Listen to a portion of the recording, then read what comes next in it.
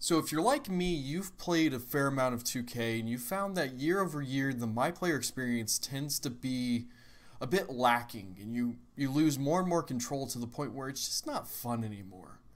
One of the things I put through with one of uh, the earlier videos on this channel was I actually started a series where I was doing my career in my league, including doing a superior version to WNBA My Career, where I got to get a little bit more control and it wasn't as much of just like a day simulator with games in it. I could actually see things around the league and kind of move things around and all that. So if you like more of that kind of dynasty experience where you get to play as a character and kind of lock yourself into that, but still get to manage the league and kind of do some influencing on that, then th- this tutorial is going to help you one of my main things with this is I I can shorten the seasons, so I don't have to play 82 games a year. I can actually finish seasons and get to the playoffs and actually have a Hall of Fame career where I can normalize all my minutes and all my stats to still get records. So, we're going to delve through how to set that up. It's a fairly simple process, and I'm going to walk through how to do it for the WNBA, but I'll show the one difference that you would need to do for an NBA created player instead. So to set this up, we're actually going to go over to features first and come over here to create roster. Here, if you want a male player, pick the NBA. If you want a female player, pick the WNBA. Uh, the request I got for this was about the WNBA, so we're going to go ahead and go through that. Now, here you can kind of start with whatever template you want to start with. I usually start with the official roster because that is the current up-to-date roster. And then from here, you have a couple of options. You can either pick the team that you already want to be on, or you can go ahead and pick a free agent. Um, so you can kind of scroll around and figure out what you want. What you're looking for is you want a player model that looks something looks like something you want. Uh, a player that looks kind of what you're looking to build for me, I always like to start off with things realistic, so I always try to go for those kind of mid 70s range know, players anyway. Uh, I don't really have anyone in particular that I'm going to pick out to override, because um, that's basically what we're going to do. We're going to override this player to be more like the build we want to be. Sure, sure, we'll pick you.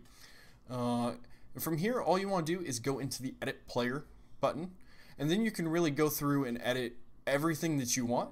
Now, the one issue about this is you don't actually get to customize the look of the player. And that's why I was saying you want to kind of go and look at what you want uh, to look like. So we can customize our height and our weight, but in terms of like the facial structure and all that, we don't have that ability. But you can go through and edit to whatever you want. You can be as overpowered or underpowered as you want, and you can edit this at any time while in my league. So you can slowly progress yourself into being one of the best players in the WNBA or the NBA. Um, now, you want to keep your changes here. I'm going to remove my changes because I already have a roster built. And when I go to show kind of what this looks like later, I'm going to use the actual roster that I built. Uh, so uh, the one thing I'll recommend is go ahead and pick the team that you want to be on because it makes it a little bit easier. But if you pick a free agent, all you have to do is trade yourself over to another team. And then once you get that done, uh, save your roster. And you would just leave and then you hit save or save and share. Uh, I usually just pick save and I name mine something that I can keep track of. So I have W test, which was my test file, but the women's side and just go ahead and save it to be whatever you want, something that's recognizable. And then you should be done in your roster creator. Now, keep in mind that you don't want to make this your default roster unless you want to keep with have being able to play with your player in like play now modes. But now that we've done all that, we're actually done in here, and we can actually go into my league.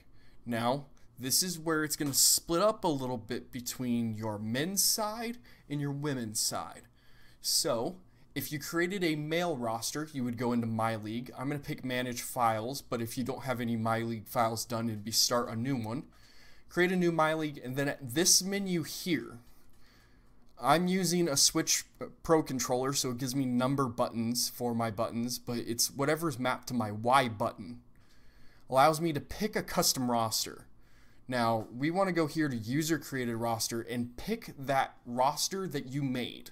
So here, I've got my male side test roster, and that has my male created character. So I would pick that, and then I could go in and keep customizing my league to be whatever I want. I'm going to back out because you can go through that process there and set the league up however you want. For the women's side, you do the same thing. You start a new WNBA season, it automatically brings you to the roster screen. If it doesn't, there should be a Y button at this current screen or the one that's right after this in order for you to pick a user created roster and then you can put in your roster with your custom created character. But now that that's all done, I'm going to go ahead and jump into a game with my WNBA player. Or actually jump into my My League with my WNBA player. And you can see everything's kind of just a normal My League. Um, now, if you're looking to get that kind of authentic My Player experience, there's one more thing you're going to want to do. If you actually scroll all the way over to uh, position settings, you can go to player lock and lock yourself on your player. And so that means whenever your player is in, you will only play that player. And when your player is out, you will actually automatically sim the game to when you're in next. I like doing that just because I play better as a my player type experience. I'm not as good managing a whole team. But there is one more caveat we got to cover. And this is one that I uh, didn't initially come up or didn't initially think about, which is when you come to your minutes screen, you want to make sure that your My Player has minutes. So here is a perfect example. I don't have any minutes, which means I will never get in the game. So I kind of need to just go through and kind of force manage our roster a little bit, and I'm probably doing things a little poorly um, for my team. But I like to keep things realistic. I don't like to overdo it with my own minutes. So I give myself 13 minutes there. If you don't do this, sorry, if you don't do this, then when you go to uh, play your next game, it will give you a warning saying, hey, you're my player, or the player your player locked into is not getting any minutes. So would you like to adjust that or would you like us to sim the game? So just make sure that your My Player has some minutes. That way you actually get to play the game. But let's go ahead and actually get a game under our belt, shall we? Now, I will warn you guys, I have not played in like two months. So because of that, I'm going to be a bit rusty. As you could tell going through that tutorial, I was having a bit of issues with button prompts. But uh, it was nice to show you guys the overall process on how to get your player into a My League game. And I like this better. Uh, I've done a little bit of testing with this, and I have my series that I need to put a little more time into now that I'm back. But I like the I like the ability to customize the league. I like to be able to play shorter seasons and it makes it to where things are a bit more manageable. One of the other cool things, though, that this brings on is it gives you the ability to change some of the rules. So this or this simulation could get like 10 years down the line and then decide, you know what, we're going to do away with the shot clock. Or, you know what, we're going to make the three point line even further out. And you can kind of get some really crazy customized situations that make it more unique for you. You are losing some of that my player type story that some people really like. Um, I'm usually a fan of the stories, but I just it gets to a point where I get a little tuned out. And also with the seasons being so long, I never feel like I could actually go and be the best player in the league. And I hate having to sim every third game just because I'm like, I, I can't play this many games. Okay, under 10. Set up this pick. drive, and we'll take that layup. There we go. Trying to make some smart decisions while we go back. Uh, I haven't reviewed much of my film, but I know that uh, I tend to shoot the mid-range too much. 10, you, uh, you let her get behind you there. But, as you can see, playing's just like normal. You don't there's really not much you miss out doing this versus like a my player other than stuff that's outside of the games. But um, this does give you the ability to play shorter games. Like I don't play full regulation length games, but my stats do get normalized to those regulation games. So I can actually compete for um, single game records, season records, MVPs, all that kind of stuff. Now, uh, there is a bit of an abuse, and you will be one of the best characters depending on how long you play. Because, like, I play at half length games, so the game goes and takes all my stats and multiply, multiplies them by two. So, because of that, I can score like 60 points in my short length game and score 120 point games every night. So that's one thing to think about is, um, or fine tune for yourself on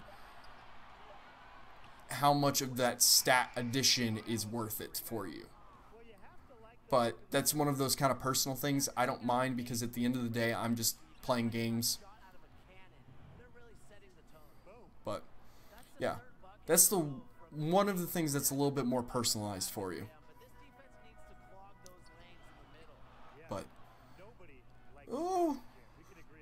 Have to play actual good defense and pay attention. Uh, I wish this gave you the ability to like fully edit a character, and I'm pretty sure you can use the method I showed you and use like the actual create a player from scratch, and it would work. Uh, the one thing is um, I had a bit of issues pushing them onto the team I wanted, so I just kind of gave up and picked a free agent. But if you know how to do that and uh, then I'll link to it or something like that to get the info out. But in terms of the actual game we're playing, we came in and provided some good minutes there. We actually got the lead to end the first quarter after being down, I believe, six. Scored six of our own points and got an assist in two boards so far. It's pretty good stats for us coming off the bench as a undrafted rookie. Now, um, one of the things about doing this is I'm technically the owner or the GM of the Dallas Wings, not my character. And my character could get traded if I don't have, um, if I have it to where the computer can trade, make trades for me, or contract situations. Well, you can easily change over which teams you're controlling to uh, make sure that you're either, if you wanted to move to a new team, you could, or uh, your other option is you can uh, turn on trade override and force yourself to stay at that one team. So you've got options there based off how you want to do it. I don't know what the best option is at the moment just because I haven't gotten there yet. I'm still in my first year of both of these uh, sims. I shouldn't have gone for that. That was greedy. I thought I uh, got past her, but I did not. This is a mismatch. I'd be backing me down in the paint. There, got the ball. Cool. Someone gonna fill lanes.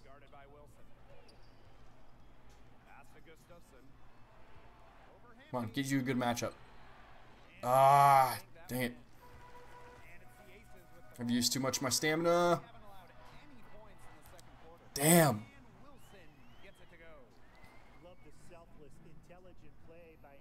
Okay, we're... Yeah, I was going to say, we're a bit low on stamina. And that run is not looking good. Well, we had a good end to the first quarter, but not so good uh, start to the second. And we get pulled. But we get to come in, and we might close out the second quarter. It might be the end of our minutes. Uh, obviously, if you want to have a bit more control on what minutes you play, you can, because you're the actual the coach, you can customize what minutes you play. Oh, good move. But basically, the whole point of this is you get full customization. Which is... Oh, why'd you pull up? So... Less on the rail coverage than... That's totally the girl I was passing it to.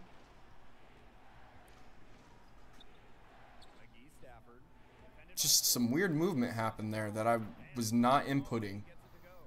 I literally was mashing the button to pull up in the corner three after the handoff, and game did not like that. But the point I've been trying to make is if you want more customization on terms of the overall simulation and what you can do, and the ability to play shorter seasons, it's my main appeal. That was my big selling point on this. Then this is the kind of thing you want to set up rather than my career. Because I don't know about you, I've played NBA 2K on and off since 2K10. And my biggest drawback is I believe there's only been one year where I've gotten past my rookie year. It's just the seasons are too long. I've got other games that I want to go play and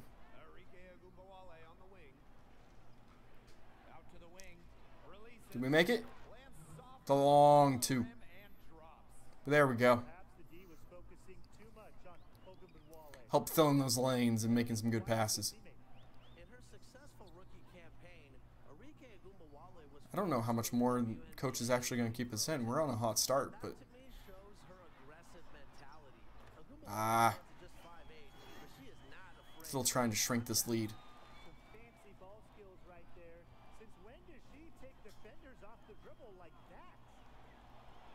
Give her some space. Why did you take that shot? I guess you got the foul, but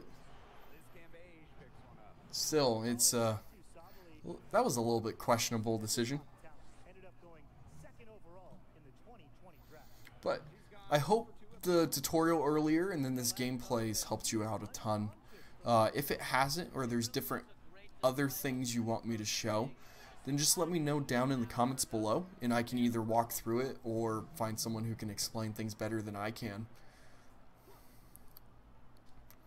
Uh, but this is just something that I kind of did on my own. I did a little research on how to do custom rosters and then I don't imagine I'm the only one that's come up with this. There's people who probably do it a lot better than I do. This is just what I prefer. I don't think it takes away from the experience. You don't get to do the online park games and all that, but let's be honest, um, or at least for me, that wasn't an appeal. I didn't really like playing online with other people. I'm more of a, when I play 2K, I'm playing all on my own. So, if you're like me, this works just fine for you. Uh, I need to shoot the ball soon. Oh, in the end, or in the foul. That worked out. So that should be able to get us in a good spot.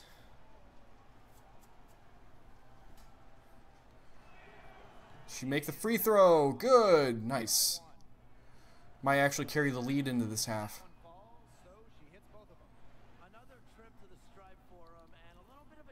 We're contributing a good amount of points here. Maybe get earn a little bit more minutes just because we're uh, playing well.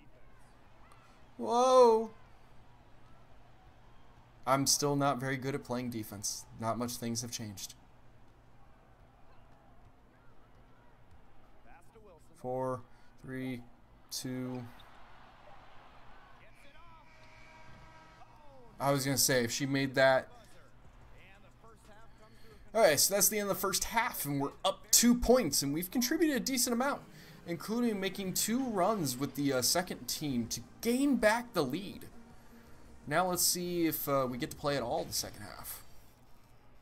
We might get like two minutes.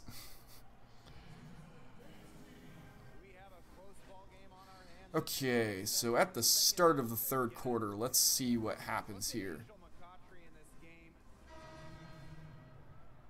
Oh, and we're in! With a minute 18 left and we're down 13. Yeah, this is the problem with being the backup point guard.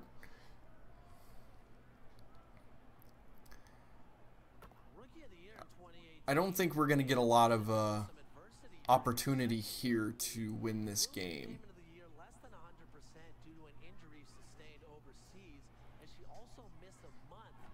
Uh, I mean, I could take it because it was scrub time, but I was trying to see if I could come up with a uh, quick three.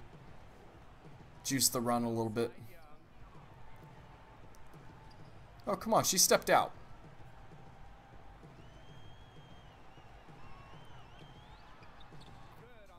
Damn. She put me for a spin cycle.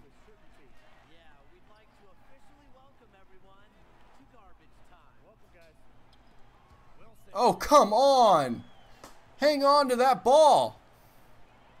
It was an easy pass for her to take. And we got called for the reach. I need to just give it up. But, damn.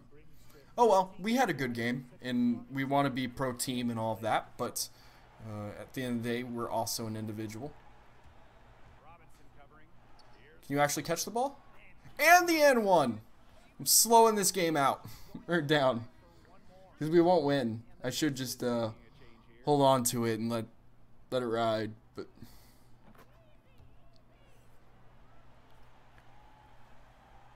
They'll probably draw out a good 15-20 seconds of the clock. I could keep uh, reaching, but...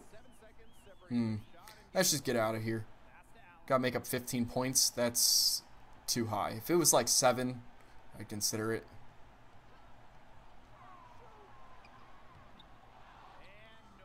Give me the rebound.